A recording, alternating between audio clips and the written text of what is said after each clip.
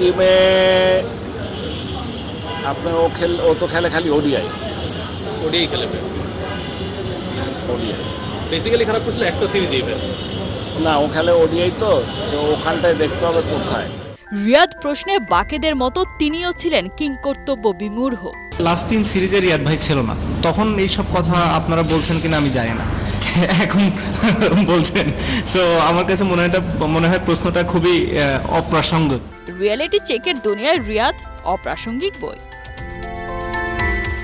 বিশ্বমঞ্চে যতই হোক তার পরিসংখ্যান খাসা, এ তো আর সেই ফিনিশার নেই। বয়স চল্লিশ ছুঁই ছুঁই, কবজির জোর নয় পাওয়ার হিটিংটা হয় না ঠিকঠাক। অন্যদের মতো আউটফিল্ডে অতটা ফাস্টও নন। বিশ্বকাপে এসব না থাকলে চলে। কিন্তু হায় স্ট্যাটসকে হেলা করতে নাই। স্ট্যাটস ডোন্ট লাই দিনের পর দিন অবহেলিত সেই রিয়াদ আবারও প্রমাণ করলেন তিনি বড় মঞ্চের হিরো। এসবে তার থোড়াই কেয়ার। চলতি আসরের পঞ্চম রাউন্ড শেষ টাইগারদের এক জয় সাথে এক হালি হার। টেবিলে নয় নম্বরে অবস্থান। তবে রিয়াদ আলোকিত নিজ পারফরমেন্স গুণে। যার হাতে বড় শট নেই, সেই রিয়াদি চলতি আসরে মেরেছেন নয় খানা ছয়, সবচেয়ে বেশি। তিন ইনিংসে ব্যাট করার সুযোগ পেয়ে রিয়াদ করেছেন একশো আটানব্বই রান। তার গড় নিরানব্বই। বিশ্বকাপে ব্যাট হাতে সর্বোচ্চ গড়ের লিস্টে টপ থ্রিতে। কে এল রাহুল আর কোহলির পরেই বসে আছেন সাইলেন্টলি।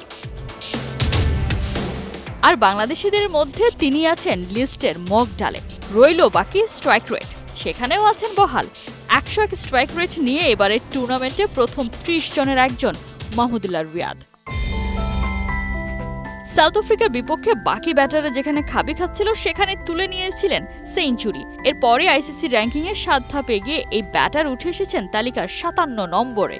হাতে এখনও চার ম্যাচ, বলাই যায়। সব ঠিকঠাক থাকলে ক্যারিয়ারের শেষ বিশ্বকাপে রিয়াদের জন্য অপেক্ষা করছে আরও অনেক অর্জন। ধৈর্য কেবলই জীবনের একটা চ্যাপ্টার মাত্র, গোটা জীবন নয়। সেটা ধরতে জানতে হয়। কারণ অপেক্ষা তিক্ত হলেও তার ফল বরাবরই মিষ্টি মধুর হয়। মাহমুদুল্লাহ রিয়াদ তো দেখালেন এমনটাই। কোহিনুর কণা একাত্তর।